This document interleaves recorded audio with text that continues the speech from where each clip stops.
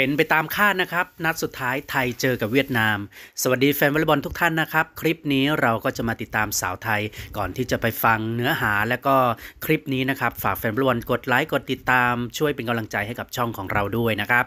สำหรับเกมการแข่งขันในนัดสุดท้ายนี้นะครับนั่นก็คือสาวไทยเจอกับเวียดนาม ซึ่งก็ต้องชิงเหรียญทองกันนะครับในรายการนี้สาวไทยก็ต้องการที่จะคว้าแชมป์เพื่อที่จะเป็นแชมป์ต่อเนื่อง ส่วนเวียดนามก็ต้องการเหรียญทองเพื่อที่จะได้เป็นแชมป์คนใหม่นะครับสำหรับการแข่งขันในนัดสุดท้ายนี้นะครับสาวไทยของเราก็ได้พูดในสัมภาษณ์ต่างๆนะครับว่าการแข่งขันที่ผ่านมานะครับเป็นการรองทีม เนื่องจากว่าหลายๆ คนก็กลับมาจากลีกต่างประเทศ แล้วก็มีการรวมตัวกันน้อยนะครับดังนั้นรายการซีเกมจึงเป็นรายการที่ต้องการลองทีมเพื่อเตรียมระบบใหญ่ไปสู่ VNL นั่นเอง ซึ่งจุดนี้นะครับแฟนวอลเลย์บอลก็ทราบดีว่าสาวไทยของเราเล่นลีกนอก ที่ตัวหลักเกือบทั้งหมดเลยนะครับ แต่อย่างไรนะครับทางเวียดนามเองก็เป็นทีมอีกทีมหนึ่งนะครับที่มีความมุ่งมั่นและก็พยายามสูงสำหรับเกมนัดนี้นะครับก็ต้องมารอลุ้นกันว่า เวียดนามจะสามารถทำตามเป้าหมายของตัวเองได้หรือไม่ หรือว่าสาวไทยของเราที่ต้องเตรียมความพร้อมในระบบ VNL ที่จะถึงนี้ จะยังคงรักษาแชมป์ได้ต่อไปหรือไม่ ก็ต้องติดตามกันในวันนี้สำหรับการแข่งขันของสาวไทยของเรานะครับ ก็เอาชนะมาตลอดนะครับ แม้กระทั่งการแข่งขันนัดรองชนะเลิศ เจอกับทางฟิลิปปินส์นะครับทางปิยนุษเองนะครับก็ให้สัมภาษณ์เอาไว้ว่า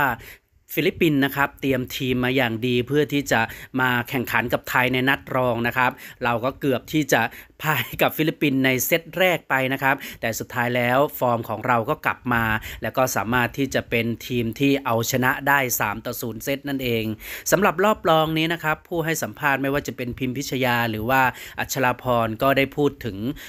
การแข่งขันกับเวียดนามรวมถึงชัชออนด้วยนะครับ ที่บอกเอาไว้ว่าการแข่งขันรอบชิงชนะเลิศนี้นะครับไทยของเราก็ยังคงมีสไตล์การเล่นของไทยอยู่แล้วนะครับ ถึงแม้ว่าทางเวียดนามเองจะมีรูปแบบการเล่นที่ฮึกเหิม แล้วก็มีพลังมาตั้งแต่การแข่งขันระดับสโมสรแล้วที่ได้เป็นแชมป์นะครับ แต่การแข่งขันซีเกมก็อาจจะต้องเหนื่อยหน่อยสำหรับทีมชาติไทยของเรา นั่นหมายความว่าสาวไทยของเราน่าจะรักษาแชมป์ไปได้นะครับสำหรับฟอร์มการเล่นของเวียดนามนะครับ อย่างที่ทุกคนทราบดีว่านัดรองที่ผ่านมานะครับ เจอกับทางอินโดนีเซีย ก็ชนะอินโดนีเซียไปแบบเหนื่อยนะครับ3ต่อ 2 แต่อย่างไรก็แล้วแต่นะครับ การเจอไทยก็ไม่ใช่เรื่องง่ายนะครับ เพราะฉะนั้นนะครับก็ต้องมารอลุ้นกันแล้วก็วัดกันให้กำลังใจกันในวันนี้นะครับสาวไทยของเราชิงทองกับทางเวียดนาม แล้วก็เชื่อว่าแฟนวอลเลย์บอลที่ติดตามอยู่ก็คงจะลุ้นนะครับแล้วก็เป็นกำลังใจ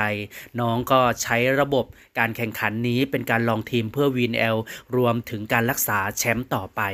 สำหรับ คลิปนี้นะครับ ใครมีความคิดเห็นอย่างไรก็สามารถที่จะคอมเมนต์แล้วก็ให้กำลังใจนักกีฬาได้นะครับ เชียร์กันมันๆลุ้นกันมันๆแล้วก็ไปต่อที่ VNL ต่อไปนะครับ สวัสดีครับ